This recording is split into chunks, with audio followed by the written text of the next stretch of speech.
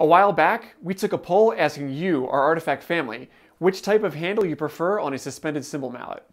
We had almost 300 responses, with the end results being 60% for rattan and 40% for wood. We are excited to share that we have decided to make our first three models of cymbal mallets available on both rattan and hickory. We designed these with help from one of our artists, Matthew Timon. Both Matt and I agreed that most of the options currently available for cymbal mallets are too lightweight and have heads that are too small.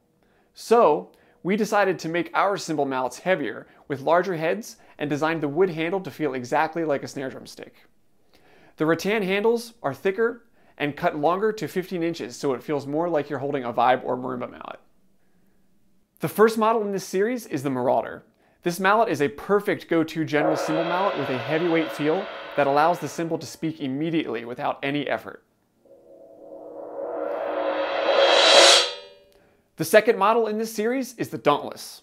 These mallets are designed as rollers and have a cork core with a brass insert, which give them a lighter weight feel for effortless rolls with almost no contact noise.